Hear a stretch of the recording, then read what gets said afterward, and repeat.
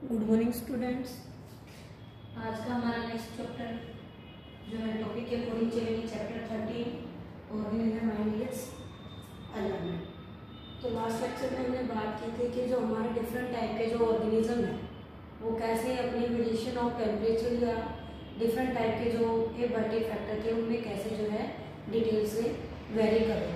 तो आज का हमारा टॉपिक है कि कैसे डिफरेंट ऑर्गेनिज्म अपने चेंजिंग एनवायरनमेंट के साथ कोप करते हैं, अपने आप को बैलेंस करते हैं। तो टॉपिक है हमारा how do organism how do organism cope with its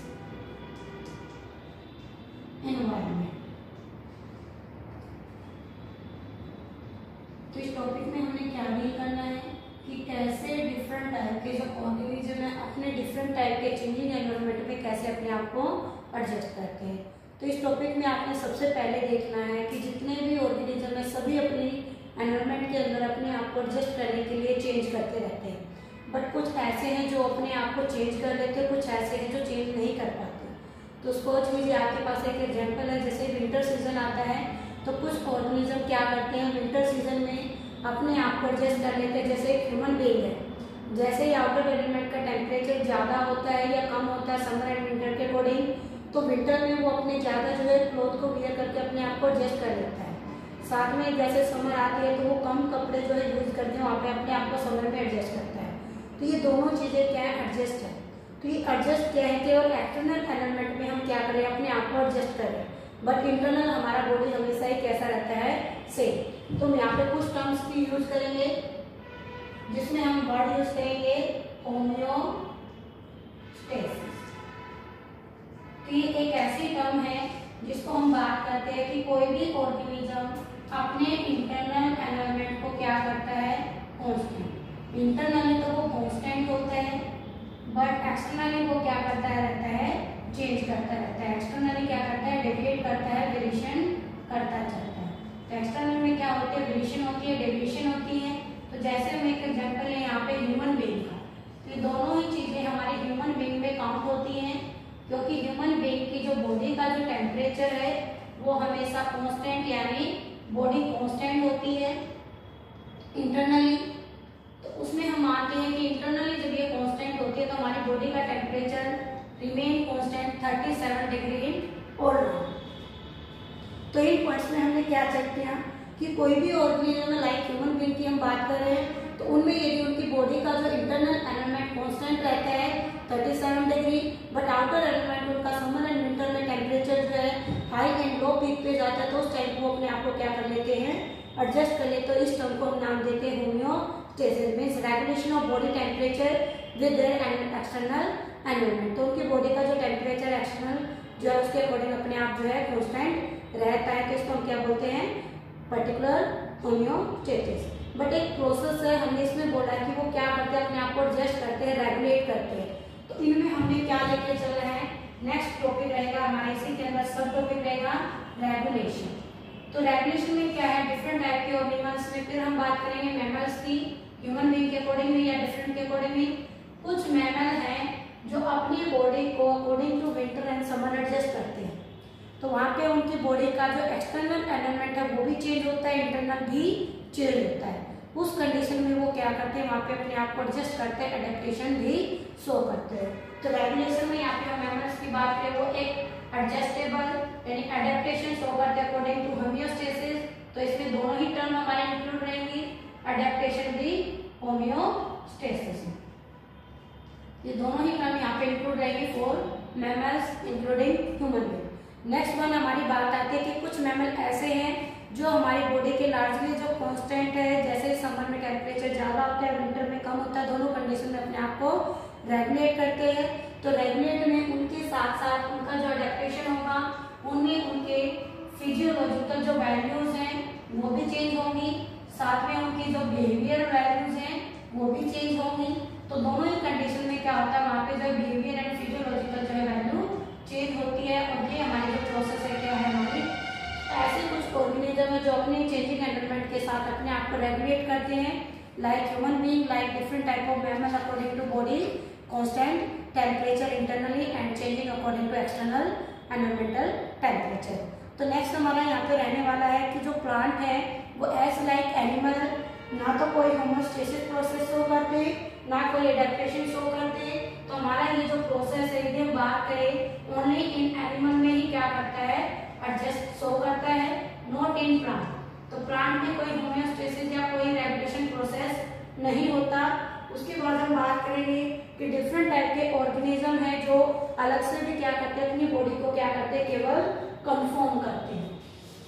तो कंफर्म का भी हम टॉपिक लेके चलेंगे। नेक्स्ट सब टॉपिक हमारा कंफर्म तो कंफर्म का मतलब भी काम कर रहा है कि कोई भी ऑर्गेनिज्म जिसमें उसका एक्सटर्नल टेम्परेचर या एक्सटर्नल एनवायरमेंट चेंज होके जा रहा है। एक्सटर्नल जो एनवायरमेंट है, ये जो एक्सटर्नली वहाँ पे चेंज हो रहा है और इंटरनली भी वो क्या करता है? चेंज करता है। दोनों में चेंज होगा तो ही ये क्या करेगा? अपने आप को कंफर्म करेगा इंटरनली भी चेंज होगा। बट यदि वो केवल एक्सटर्नली चेंज कर रहा है तो वो क्या बनता है?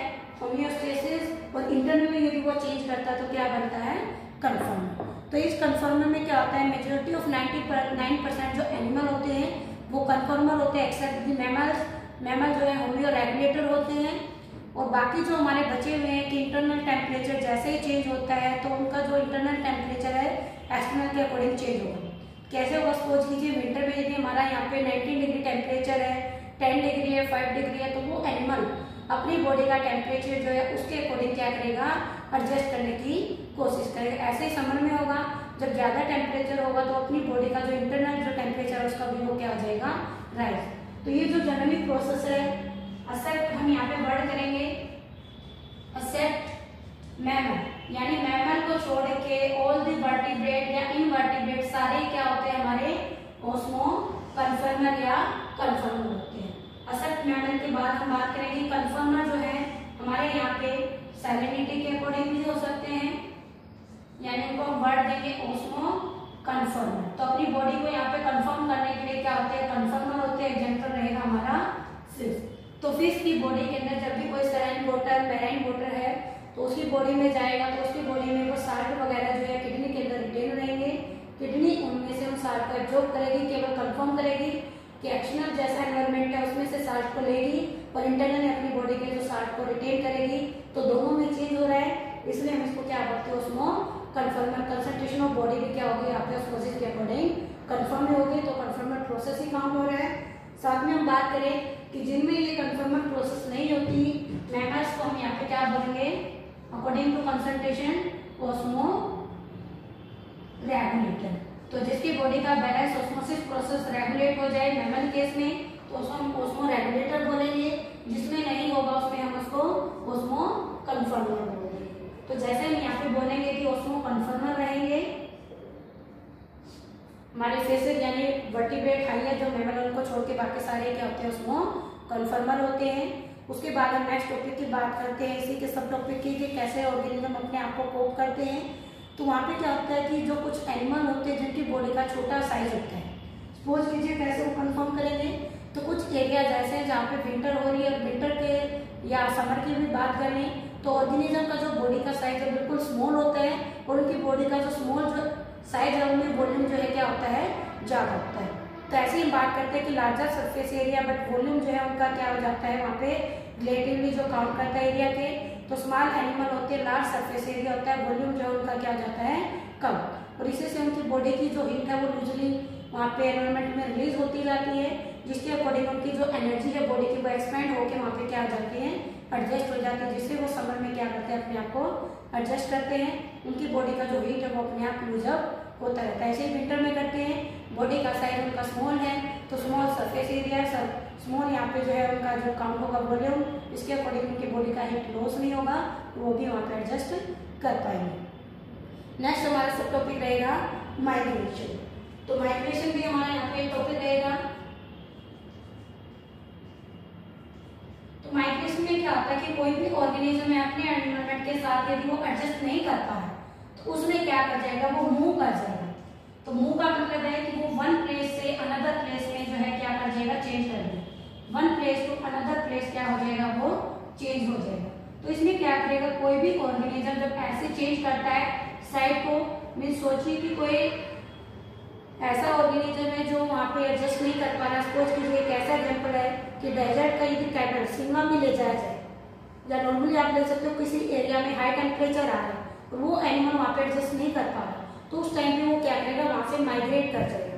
या कोई ऐसा एरिया जहाँ पे लो टेम्परेचर हो, उस टाइम पे वो वहाँ पे एडजस्ट नहीं करे तो वो समर वाले रीजन के यानी हॉट वाले रीजन में क्या कर जाएँगे? माइग्रेट यानी मुँह तो माइग्रेट को हम क्या नाम देंगे मुँह तो मुँह में क्या बोलते हैं कि कोई भी ऐसा हमारा जो है बेस्ट एग्ज़ाम्पल इसके लिए आता है साइबेरियन क्रेन तो ये जो है क्रेन यानी सारस है,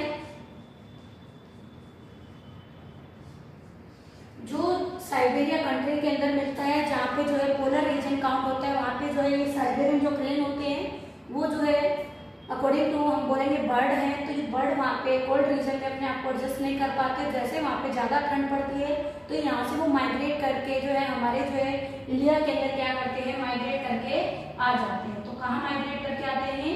इंडिया में। तो हमारे इंडिया में जो है राजस्थान का जो एरिया है, राजस्थान।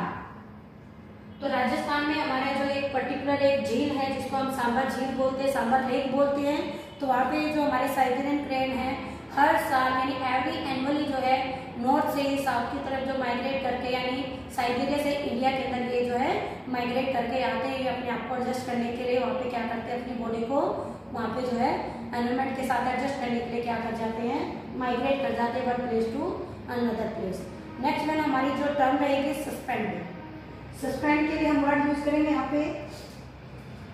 तो फिफ्थ वन हमारी टर्म ऑर्गेनिज्म में सस्पेंड।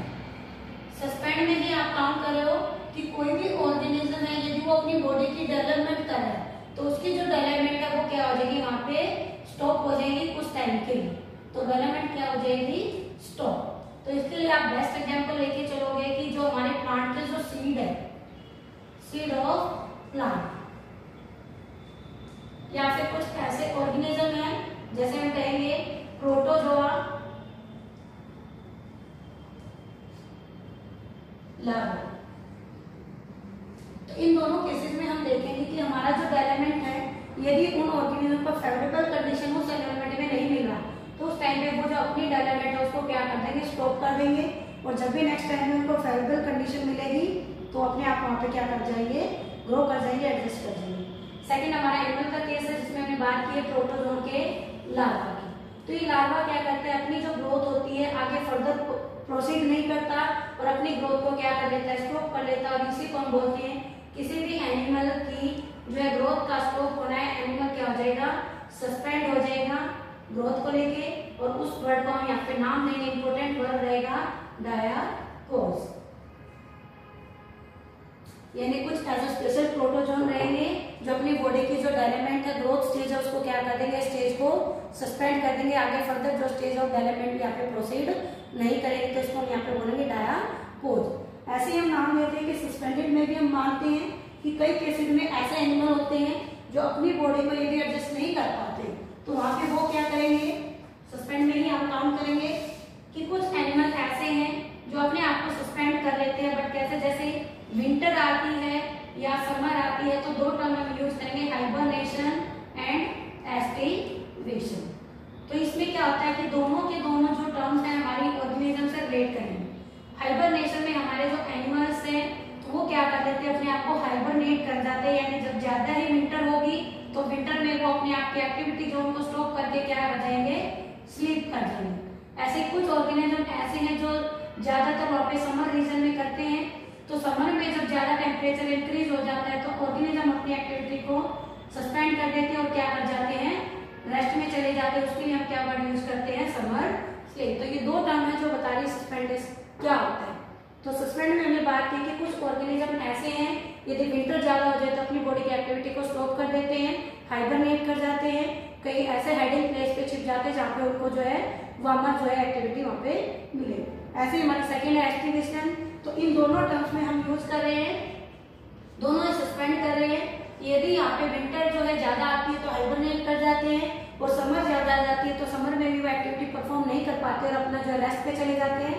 स्लीप कर जाते हैं तो इसको हम नाम देंगे एस्टिवेशन तो दोनों टर्म में हमने देखा कि दोनों में ही ऑर्गेनिज्म क्या कर एक्टिविटी को स्टॉप कर रहे हैं या फिर अपनी जो एलिमेंट को स्टॉप करके डायपोज में जा रहे हैं, या एक्टिविटी को स्टॉप करके यहाँ पे क्या कर रहे हैं एक्टिविटी को सस्पेंड करके यहाँ पे अपने आप को, अपने एनवायरमेंट के साथ क्या करने की कोशिश कर रहे हैं एडजस्ट कर रहे हैं रेगुलेट कर रहे हैं। तो ये जो हमारा जो टॉपिक है, जिसमें हम कह रहे हैं कि कोई भी ऑर्गेनिज्म अपने आप अपने एनवायरमेंट में एडजस्ट करता है, अपने साथ मैच करता है तो उसे हम टर्म देते हैं?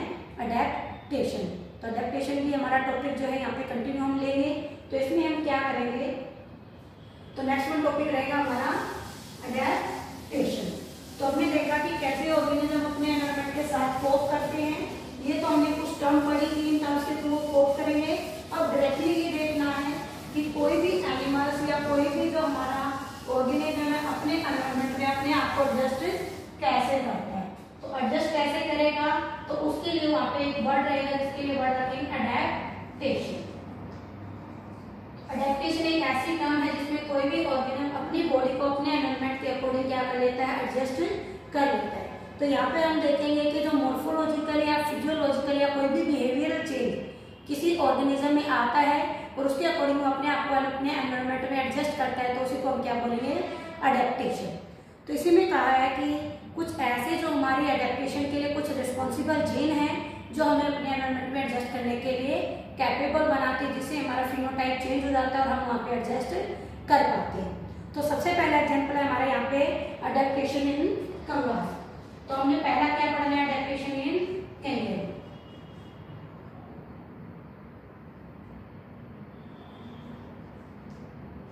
कंगारू क्या है? पर्टिकुलर ऑर्गेनिज्म है जो हमारा ऑस्ट्रेलिया के अंदर मिलता है बट यहाँ पे हमारा एग्ज़ाम्पल है कंगारू रैट ये कंगारू रैट क्या करता है कि जैसे ये रैट है और कंगारू है तो इसमें क्या होता है कि कंगारू रैट जो नॉर्दर्न अमेरिकन डेजर्ट के अंदर ये अपने आप को यहाँ पे कहा मिलेगा?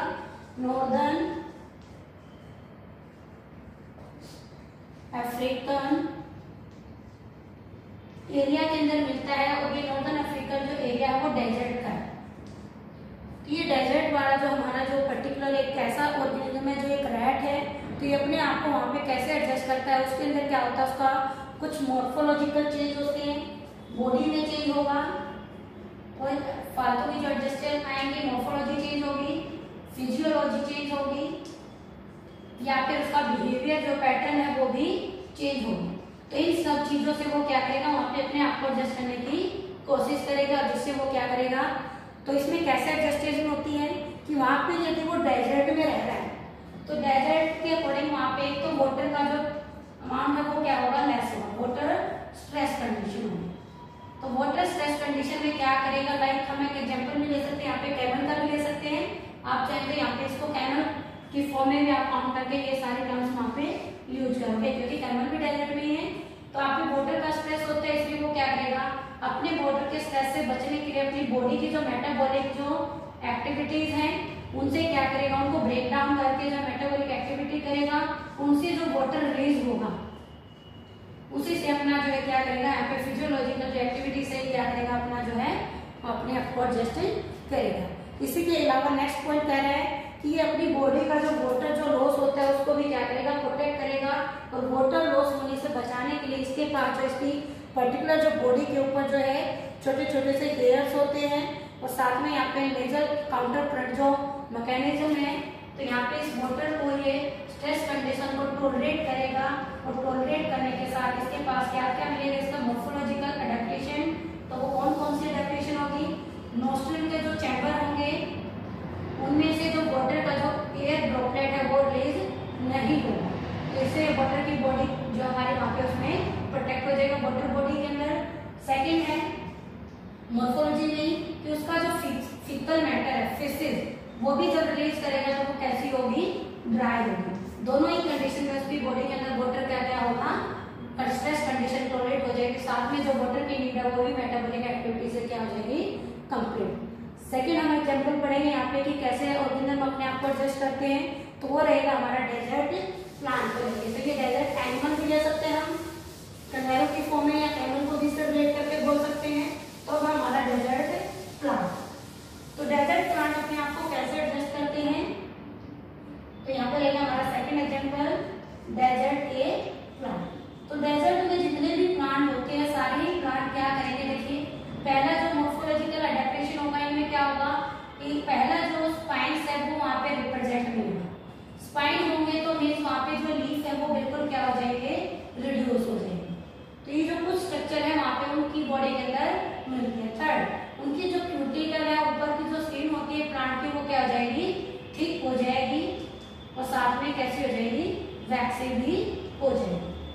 फोर्थ पॉइंट कहेंगे कि जो डेजर्ट वाले प्लांट है, उनका जो स्टोमे स्टोमेटा है, जो ट्रांसपीरेशन में वर्क करता है तो स्टोमेटा क्या हो जाते हैं? या तो क्लोज हो जाते हैं, या फिर संकन हो जाते हैं, बंद हो जाते हैं नैरोपोर के साथ, या फिर टोटली इनर जो है डीपली क्या होते हैं? इनर डीपली पार्ट में क्या होते हैं? सिचुएटेड होते हैं डीपली सिचुएटेड तो तीनों ही कंडीशन स्टोमेटा की क्या कहती हैं? कि सिचुएटेड होते हैं तो उस कंडीशन में स्टोमेटा से वाटर का लॉस नहीं होगा वो डेजर्ट वाले प्लांट डेजर्ट के वाटर स्ट्रेस कंडीशन में अपने आप को एडजस्ट करेंगे। इसी के साथ जो हमारा अलग से जो क्वेश्चन है यहाँ पे, कि जो प्लांट के अंदर जो ट्रांसपिरेशन जो प्रोसेस है, वो क्या हो जाएगी ड्यू टू संडल स्टोमेटा या लेस स्टोमेटा तो ट्रांसमिशन जो ट्रांसपिरेशन जो प्रोसेस है, वो भी क्या हो जाएगी? यहाँ पे रिड्यूस हो जाएगी और ट्रांसपिरेशन से जो हमारा वाटर का जो लॉस है, वो क्या हो जाएगा? हमारा बच जाएगा। वाटर लॉस प्रिवेंट हो जाएगा। तो जिससे वो कूलिंग इफ़ेक्ट मिलता है, वो भी क्या हो जाएगा? यहाँ पे रिड्यूस हो जाएगा रिड्यूस ट्रांसमिशन सिक्स पॉइंट कह रहा है कि ये किसके अंदर मिलता है? C A N crassulacean acid metabolism show करने वाले मेटाबॉलिक जो हमारे प्लांट होते हैं, उनके अंदर एक ऐसा पर्टिकुलर सिस्टम होता है जिसमें से ट्रांसपोर्टेशन में वाटर का लॉस कम होता है। डेजर्ट वाले प्लांट जैसे शुगर केन है मेज है, इनमें जो है यहाँ पे वाटर का स्ट्रेस कंडीशन शो करते हैं और इन्हें अपने आप को वहाँ पे एडजस्ट करते हैं। थर्ड वन हमारा एडेप्टेशन रहेगा मैमल के अंदर और जो कोल्ड एनवायरमेंट के अंदर मिलते हैं। तो थर्ड वन है हमारा मैमल इन कोल्ड क्लाइमेट तो यहाँ पे एक इंपॉर्टेंट क्वेश्चन बनेगा। तो इम्पोर्टेंट क्वेश्चन क्या कह रहा है कि जो मैमल है, यदि उनकी बॉडी शॉर्ट है तो शॉर्ट बॉडी जब वहाँ पे कहते हैं तो उनकी बॉडी जो इतनी शॉर्ट है तो उनके ऊपर जो एडजस्टमेंट आती है तो वो एक रूल के थ्रू आती है, जिसको हम नाम देंगे एलन रूल तो एलन रूल जो है इम्पोर्टेंट है यहाँ पे कि शॉर्ट जो ऑर्गेनिज्म है, उनकी बॉडी के ऊपर जो ईयर है शॉर्ट ईयर जो है, वहाँ पे क्या हो जाएँगे? रह जाएँगे। तो एलन ने एक रूल दिया था जो यहाँ पे पर्टिकुलर एक ऑर्गेनिज्म के अकॉर्डिंग भी माना जाता है बियर और बियर कैसे है नेचर में? पोलर बियर तो यहाँ पे एलन ने क्या बोला था कि जो कोल्डर एरिया में, जैसे हिमालय रीजन के ऊपर ये जो बियर है, यदि वहाँ पे मिलते हैं तो हिमालय के ऊपर ये हमारा कोल्ड क्लाइमेट होता है तो हिमालय पे हमारे जो एनिमल्स हैं पोलर बियर है तो उनकी बॉडी का जो साइज़ है सरफेस एरिया वो ज़्यादा है। उसके अकॉर्डिंग नेचर ने उनको क्या दे दिए शॉर्ट शॉर्ट ईयर दे दिए ताकि उनका सरफेस एरिया कम हो जाए और शॉर्ट ईयर किसी बॉडी के ऊपर आना, बड़ी बॉडी के ऊपर आना, ये किसका रूल था? एलन रूल ताकि वो अपनी बॉडी की हीट को वहाँ पे प्रोटेक्ट करे लॉस होने से बचा ले उसके बाद कुछ एक्वेटिक एनिमल भी हैं, जो क्लाइमेटिक कंडीशन में यहाँ पे जो एनिमल्स की बात करें तो ये हमारा एक एनिमल था पोलर बियर जो क्लाइमेट में, और यहाँ पे दूसरा भी हमारा सील सील क्या है वाटर वाला एक एनिमल है डॉल्फिन भी हम यहाँ पे बोल सकते हैं सार्क भी यहाँ पे बोल सकते हैं वेल भी हम बोल सकते हैं। तो वेल क्या करती है एक्वेटिक कंडीशन में अपने आप को क्या करती है बल्बुलर जो वेल यहाँ पे काउंट होती है, वो सारा का सारा अपना स्किन का जो फैट है, उसको इंसुलेट की फॉर्म में यूज़ करती है, ताकि उनकी बॉडी से ज़्यादा जो हीट वहाँ पे यूजअप ना हो। सील अपनी बॉडी के फैट को क्या करती है हीटिंग इफ़ेक्ट के लिए यूज़ करती है। लास्ट एडेप्टेशन रहेगी हमारे डेजर्ट लिजर्ट की तो वो क्या करती है तो नेक्स्ट हमारी एडेप्टेशन है डेजर्ट लिजर्ट तो डेजर्ट की जो लिजर्ट है वो क्या करती है? यदि वो कोल्ड एनवायरमेंट में रहती है तो ये लाइट के अकॉर्डिंग अपने आप को एडजस्ट करेगी. लाइट में क्या करती है? यदि लाइट है तो वो क्या करेगी? लाइट को ट्रैप कर लेगी और अपनी बॉडी को क्या करेगी? हीट करेगी. ट्रैप बाय एब्जॉर्बिंग हीट तो लाइट को एब्जॉर्ब करके अपनी बॉडी को क्या कर लेती है? हीट कर लेती है. कब? जब लाइट इंटेंसिटी क्या होती है? लो यदि लाइट की इंटेंसिटी वहाँ पे लो है तो वो क्या करेगी? उसको ट्रैप करेगी हीट को और अपनी बॉडी को मेंटेन करेगी। यदि लाइट की इंटेंसिटी वहाँ पे हाई है, दूसरा केस किसी के लिए है। यदि लाइट इंटेंसिटी हाई है, उस टाइम में क्या करेगी? अपने आप को क्या करेगी? प्लांट की जो शेड होती है, उसके अंदर क्या कर लेगी? अपना जो है, छुपा लेगी शेड के अंदर चली जाएगी। यानी छाया में चली जाएगी वहाँ पे अपने आप को क्या करेगी? लाइट से प्रोटेक्ट करेगी यानी डेजर्ट लिजार्ड अपने आप को क्या करती है? डेजर्ट में यदि ज़्यादा लाइट आती है तो सीट में चली जाती है। कम आती है तो सनलाइट को ट्रैप करके अपनी बॉडी का मेटाबॉलिक एक्टिविटी शो करेगी। उसी के बाद हमारा फिफ्थ जो एग्ज़ाम्पल रहेगा high altitude in human being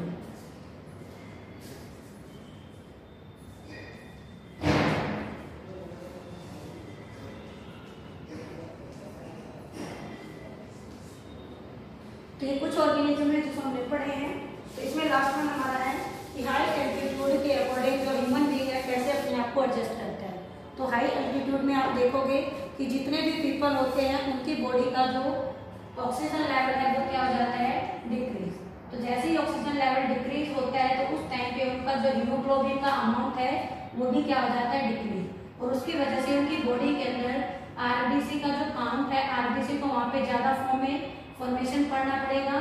तो जैसे ही आरबीसी ज़्यादा फॉर्म करते हैं तो आरबीसी काउंट क्या हो जाता है?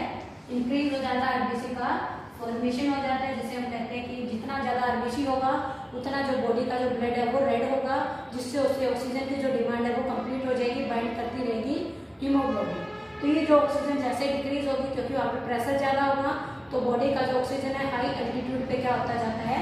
डिक्रीज तो जैसे हम माने हिली एरिया की बात करें तो हिली एरिया में जब भी कोई वहाँ पे जब ट्रैवल करने जाता है तो वहाँ पे जो है मनाली का जो लेह लद्दाख का रीजन है, वहाँ पे पर्टिकुलर जब भी कोई ह्यूमन बींग रहता है तो वहाँ पे वो इजीली एडजस्ट कर पा रहे हैं।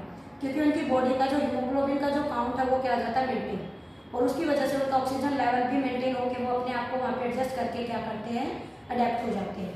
बट यदि कोई ग्राउंड लेवल वाला जो पर्सन है, यदि वो हिली एरिया पे जाए तो स्टार्टिंग में उसको स्ट्रेस फील होगा क्योंकि उसकी बॉडी का हीमोग्लोबिन जो लेवल है, वो डाउन हो जाता है आरबीसी भी डाउन हो जाता है। बट जैसे जैसे वहाँ पे वो टाइम स्पेंड करेगा तो उसका आरबीसी नॉर्मल हो जाएगा मीन्स इंक्रीज भी हो जाएगा। आरबीसी के साथ इंक्रीज होकर ऑक्सीजन की डेफिशिएंसी को कंप्लीट करके उसकी बॉडी को एडजस्ट करेंगे। तो ये जो कुछ टर्म्स थी कि आरबीसी काउंट क्या है हीमोग्लोबिन क्या है आरबीसी के नंबर का इंक्रीज होना सेल का इंक्रीज होना आरबीसी का इंक्रीज होना, क्या आरबीसी काउंट है ये हंड्रेड एम के अंदर चेक किया जाता है कितने एच हैं हीमोग्लोबिन और कितने आरबीसी जितने आरबीसी ज़्यादा होते हैं हीमोग्लोबिन से तो आरबीसी का काउंट बढ़ जाता है, ताकि वो ऑक्सीजन की मैक्सिमम कैपेसिटी को इनहेल कर और ये सारी जो कैपेसिटी है, हमारी जो है, चलती रहती है, चलती रहती है। तो कई बार जब हम हाई एल्टीट्यूड पे जाते हैं तो हमारा ब्रीदिंग रेट जो है, वो इंक्रीज होता है, क्योंकि बॉडी में ऑक्सीजन की जो है डेफिशिएंसी होनी स्टार्ट हो जाती है। Due to pressure of oxygen और वहाँ पे हीमोग्लोबिन ऑक्सीजन के साथ बाइंड नहीं कर पाता। तो ये थे हमारे कुछ टॉपिक जिसमें हमने पढ़ा कि how do organism cope with their environment हमने देखा डिफरेंट टर्म में रेगुलेट करते हैं कंफर्म करते हैं सस्पेंड भी कर जाते हैं माइग्रेट भी कर जाते हैं। फिर हमने देखा कि डिफरेंट टाइप के ऑर्गेनिज्म अपने डिफरेंट एनवायरनमेंट में कैसे अपने आप को एडजस्ट करते हैं, कैसे मॉर्फोलॉजिकल बिहेवियर करता है कैसे जो है यहाँ पे मेमल का जो एलियन रूल सोट ईयर के साथ आता है, या कैसे जो है डेजर्ट के जो हमारे लिजार्ड है, वो अपने आप को लाइट के अकॉर्डिंग एडजस्ट करते हैं, या जो मेमल है कैसे अपने आप को जो वहाँ पे एक्वेटिक कंडीशन में एडजस्ट करते हैं या फिर कहें लास्ट वन कि कैसे हमारा जो कोई भी ह्यूमन बींग है अपने आप को जो है हाई अल्टीट्यूड पर कैसे अपने आप को एडजस्ट करता है हिली एरियाज़ के अंदर। तो हिली एरियाज़ का मतलब है हाई एल्टीट्यूड में कैसे पीपल अपने आप को एडजस्ट करते हैं। तो इसमें चलेगा हमारा आरबीसी काम। तो ये था आज का हमारा टॉपिक जिसमें हमने बात की है adaptation and regulation of different type of organism according to their environment